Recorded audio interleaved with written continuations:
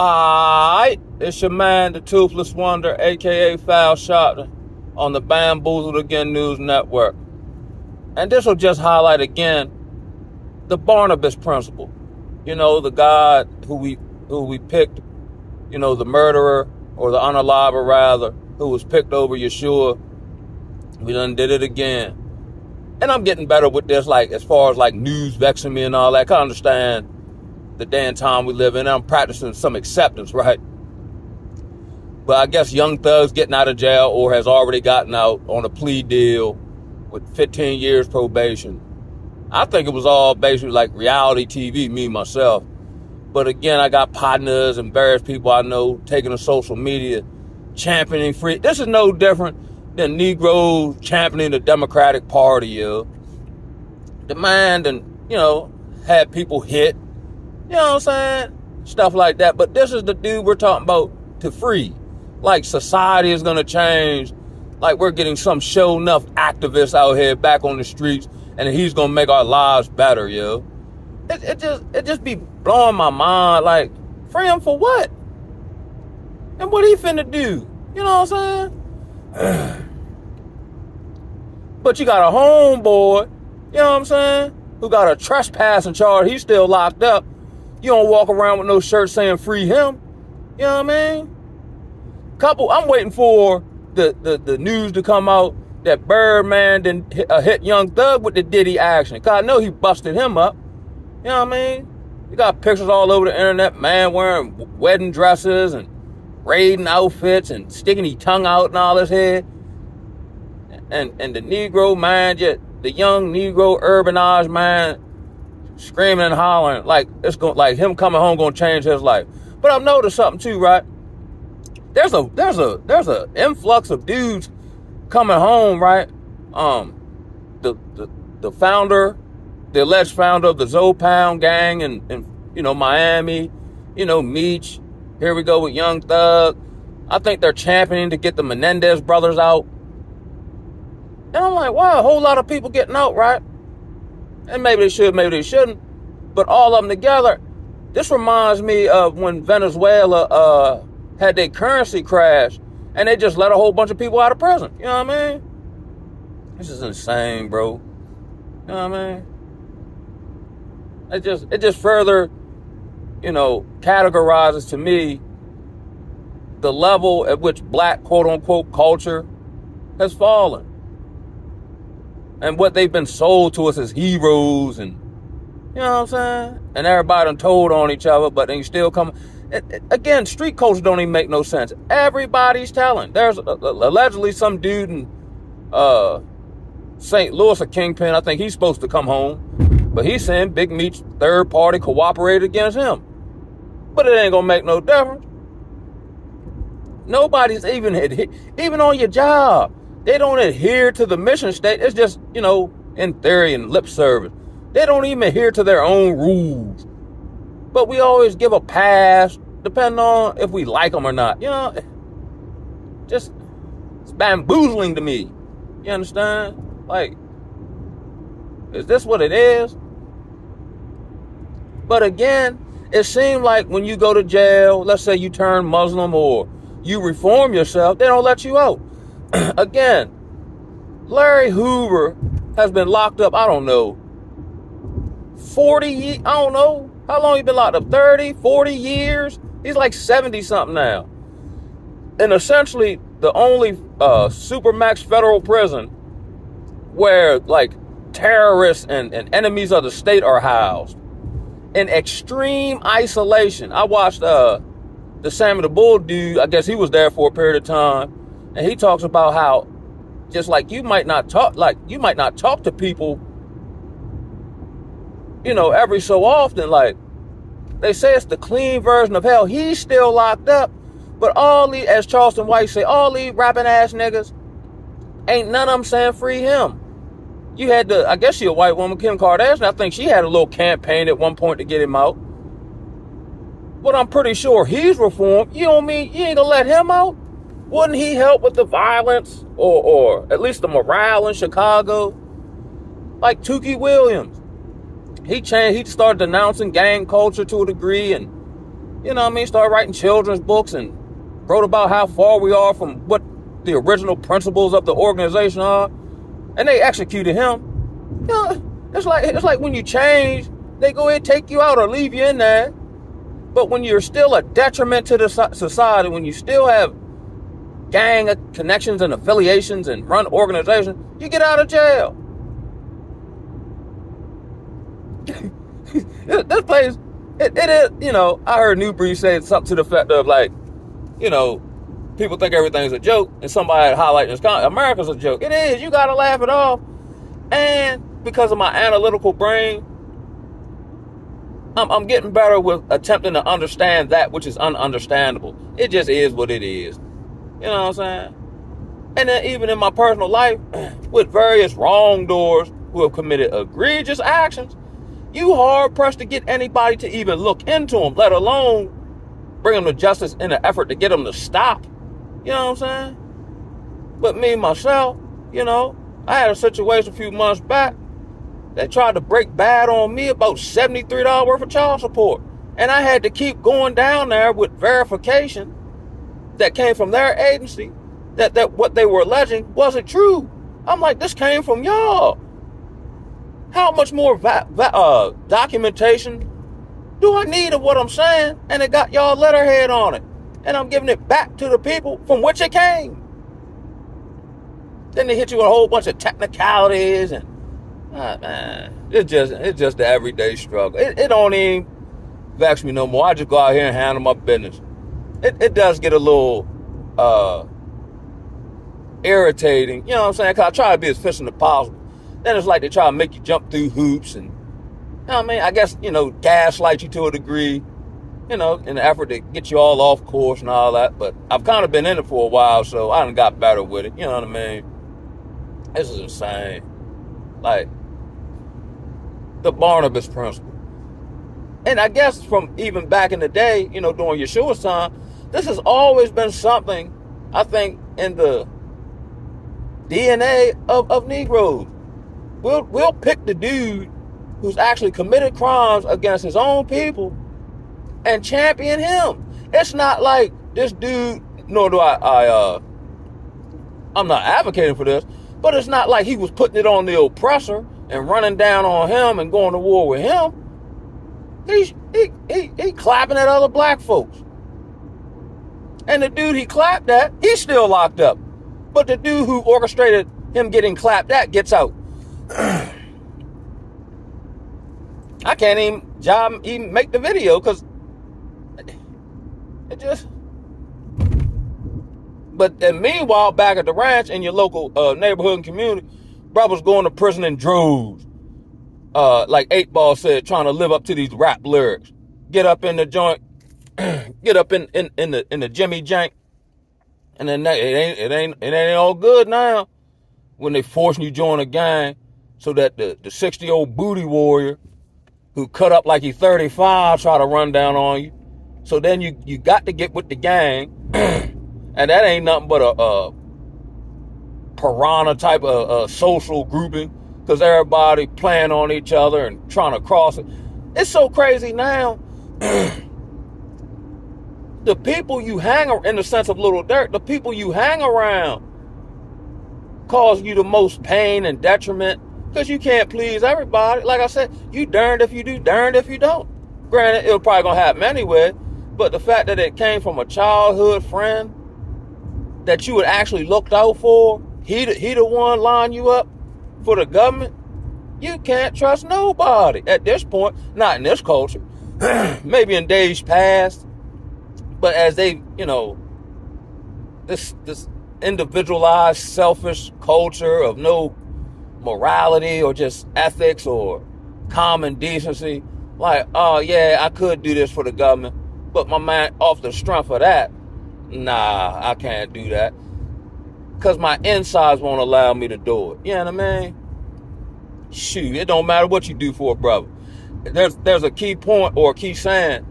Nobody values that which they didn't earn. But then let's say you don't look out for him. He'd have, been, you know mean? He'd have done did it anyway.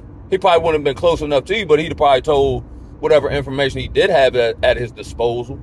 you can't win. You darned if you do, darned if you don't. Just like almost in, in, in dating or in, from what we see in the modern culture, you can quote unquote, which I don't even know what this means, do everything right. And she'll say, Oh, you were just too good for me and leave, you know what I'm saying? Or you can just be a douchebag or whatever. And, you know, she might be turned on by your toxicity. But then she'll just leave you for a better douchebag, you know what I'm saying? Yo, we become a joke. Like I said in the word, we're, we're a byword. You know what I'm saying? We can't even be described at this point, yo. Oh man, this is this is wild. This is wild. And then I was thinking too, right? Because as far as I've heard thus far, like no no like celebrity or anybody of note was unalive yesterday on Halloween that I personally know of as as of the making of this video. And I'm wondering why that is. Did they throw us off? Here's here's what I think though. I think, you know, Beelzebub, like, you know you ain't, y'all ain't gotta do that. You know what I mean? Cause we gonna do a mass sacrifice after the election. we gonna sacrifice everybody's minds. I'll take that. Y'all been doing a bang up job. You know what I mean? Y'all sit this one out. Y'all can just chill and, and dance around the uh, statue of an owl and drink owl blood and, you know what I'm saying? Everybody get in the room and plug each other up. You know what I mean? We'll, we'll, we'll get back to the business after the, after the election. Yes, uh, this might be the best boozlement since since COVID. I don't know, yo. I think I don't know. I, I, haven't seen the polls. I haven't seen anything pertaining to that. And this is no spotty sense. I I I think Kamel. I think they gonna put her in there somehow, some way, because they gonna put in there whoever they want. Just like when Bush and what was that? Bush and Gore, uh, and Gore won the popular vote, but they just put Bush in there anyway. then the country was in an uproar about that. Then they just took you to war. When, from what I understand, they had the war plans drawn up six months prior to 9-11. You know what I'm saying? All this, all this is staged. It's like political WWE. The music industry is basically like musical WWE. You know what I'm saying? Music industry. Like, is anybody even making any good albums anymore? I'm so sick and tired of drill and the beats be alright, but how many different ways? It's still different than the female rappers. How many different ways can you talk about shooting somebody? How many different ways can you talk about your box? Like the creativity and yo, everything in this place is falling, yo. You know what I'm saying? Hollywood. I don't. Uh, what was that? The Venom movie. A partner of mine said it wasn't. It wasn't even that good, so I didn't even check it out. But it's like nobody's even trying anymore. The Dwyane Wade statue that looked like somebody from uh one of them zombie movies. I done seen that statue uh imposed on so many different pictures. And and who who just like ain't nobody that's why you shouldn't have yes men around. Somebody get privy to seeing this statue of Dwyane Wade. And like, yo, what no, cuz we can't do this, yo. It's like everybody just giving up or just throwing anything out there. Even in the street, they just putting out any kind of product.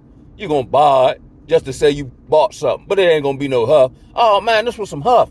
Oh yeah, I got a bad batch. You know what I'm saying? But this, but this one right here though, this, this, this, this right here, Nick. This, this right here.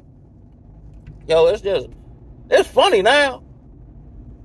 The whole place, the whole demonstration is out of order. That's why I might call this jump. Oh, almost missed my turn. This whole demonstration out of order. We know better than this. No, we, it's not that we know better than this. At this point, we should be coming out the matrix. Because it should be obvious to even what we would consider the NPC. It's the illusion, the the the glamour of it is no longer glamoring at all. You know what I'm saying? Your healthcare systems and that's a joke. You know what I'm saying? Like everything here, your institutions, your the banks, they glitching out all the time. You know what I mean? Every time you hop on, you know, TikTok on one of these apparatuses, you always got some pastor man saying something, wow. Or they going to jail for embezzling money. Sometimes, because I got a super duper sensitive conscience. I be wondering, like, do these people even like, are they waiting for a day of reckoning? Or are they like looking over their shoulder? Or, you know what I'm saying? That's why I be tripping like how these wrong doers walk around peacocking. Like they the show enough. And there's nothing about your behavior or character. But I guess the blind leading the blind. I don't know, man. then the S uh the SRBG man, I like his channel. He said something real. Now he back because his second to last video, he was talking about how he was depressed or whatever the case may be. And uh, you know, sometimes I do get hit with this like the weight of the world or the energy of the world. And I'm like, God damn, boy, ooh wee. So I've heard a, a bunch of brothers, we're seeing we're all simultaneously doing the same thing as far as like fasting, you know, juicing, just trying to raise our vibration.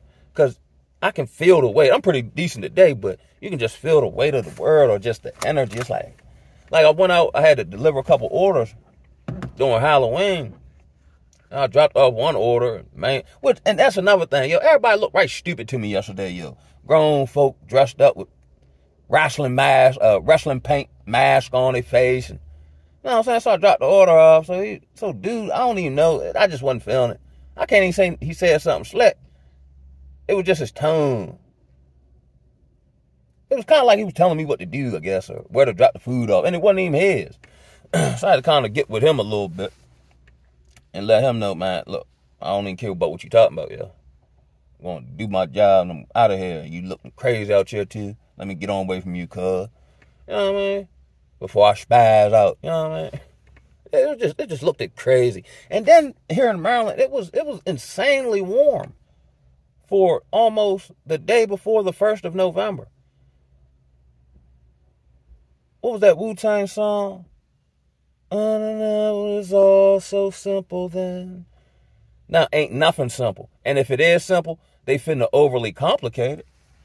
Just doing simple stuff is becoming complicated. Raising your children. Just natural stuff. Got a whole bunch of, you know, it's like the sheep herd. You gotta hurry up, make sure this ain't, you know mean? This ain't over here. gotta go over here. Oh, let me check over here, cause I know they be trying to come over here. You know what I'm saying? You wear yourself out trying to protect your flock. You know what I'm saying? And they just flocking, so that's why you gotta have a shepherd. So you like, hey, let me go on over here and get you, cause I don't know what's over there. And, you know what I'm saying? it's it's literally like it feels like being in an alternate universe, yo. Oh, but the SRBG man was talking about how uh you know we use that talking point like NPC non-playable characters, like people just easily led by the system or influenced by. And he he made a very profound statement technically, we as chosen ones are God's NPCs. We're programmed to do a certain thing. We are programmed to wake up at a certain time. I mean, awaken rather, at a certain time. You know what I mean? Uh, it seems as though, and I've kind of alluded to this in previous videos. It seems like I can do no more than He alive. No matter what, it could be something that I'm deeming good or will progress me on in life financially or resource wise or whatever the case may be, I can do no more than he allow. And it's been like that for a while. I used to wonder, I'm like, yo, why I can't do this? Just like get a job or whatever the case may be. Because looking back on it in hindsight, he was training me to rely on him. Everybody else go to therapy and get something out of it. How come I see how stupid it is for me? Now, you know, just I'm talking about me, right? Because he was training me to rely solely on him for direction. You know what I'm saying? And his sovereign timing. Like, even if you look at anybody in the scriptures, like, they had a, like a basic training kind of situation. Other than maybe, I guess, say, you know, the disciples. But most of the prop, like, they went through years of training first and then hit the scene with the gangster land. That's why I know it's like, how these pastors, you go to some Europeanized uh, theology school, and now you're just pastoring a church. I thought you were supposed to be called to do that. And then I thought there was a certain time, like, oh, you get called, and then you don't hear nothing. Then you get called again, and then he sits, or or he put you in isolation and sits you on the shelf. Then you get called again, but by the time you get called this last time, now now you about that action. Now, you know what I'm saying? You can stand up to the world. You can you can preach, you know, hard truths. Everybody hates you for the most part, but you're still doing good out here.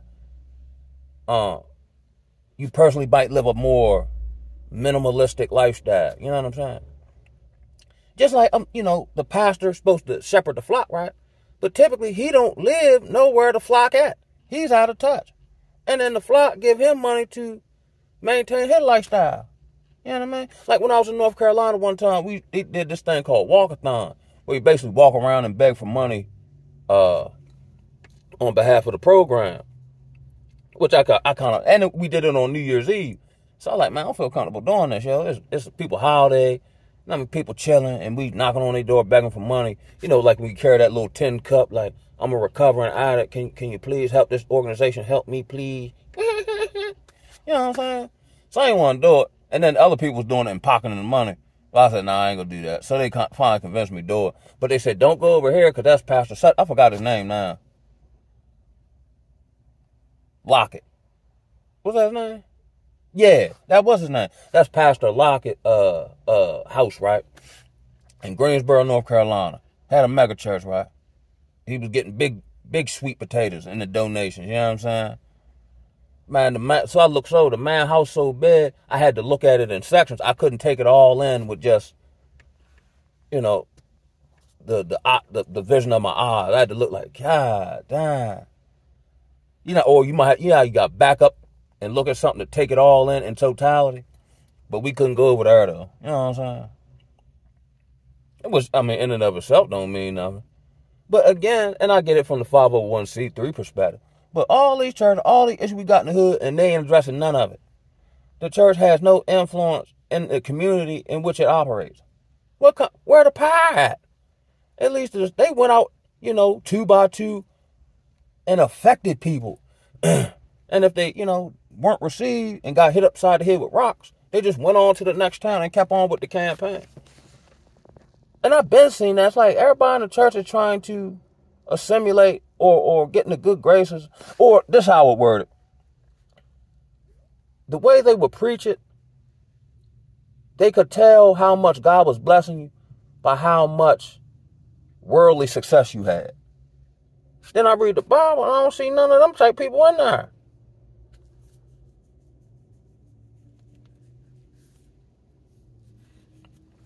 I've been left that jump. I'm I'm leaving like every day I find more and more stuff to boycott personally and more and more Negroes to write off. You know what I'm saying? My man showed me a picture of uh, Bun B from the group UGK, you know, Pimp C homeboy, with a with a Jeffrey uh sweatshirt on. Again, young thug, right? That's a real name, Jeff. Sweet Jeff, right? So I'm like, how he get that uh what's the name so fast? So then my partner tell me, oh, he got a clothing line. I ain't never seen him wear his own clothes. So, but magically he hurry up the day after he get out and, and got a, what he got, a uh, Acme uh, shipping from the cartoons where you order and then half a second later it drop out the sky and it's yours. Come on, cuz. Bun B, Bun B remind me of the Nation of Islam after Malcolm X died. You know what I'm saying? Like he, like he don't got on. Uh, I guess a different situation. But he's supposed to be out the street culture. He went on stage. I mean, went on stage. Went on stand and snitch. Man, all these. Man, we man, we've been completely demoralized by the system, yo. Man, we will bend, fold, appease, all that for the system. Now I can see how the table will be set for those who don't do it and how these people who play tough will tell on you and get you lined up. I can see how they can push this forward and break the guillotines back out. You know what I'm saying? Oh, you don't you don't believe in reproductive rights? Oh, you're archaic. Oh, you're holding us back. Yeah, from destroying young kids. How's that even a thing? That's probably one of the greatest uh mind F's ever to convince you to unalive your own children. How about you stop sleeping with people you don't want to have kids by? Problem solved. That would change up a whole lot about you as far as the dynamic between men and women. But yeah, I digress. I don't know. I just wanted to come through with a quick one. Let's keep on with the keep on. I'll keep holding on. And on that note, I'm going to holler at y'all. Ooh, oh.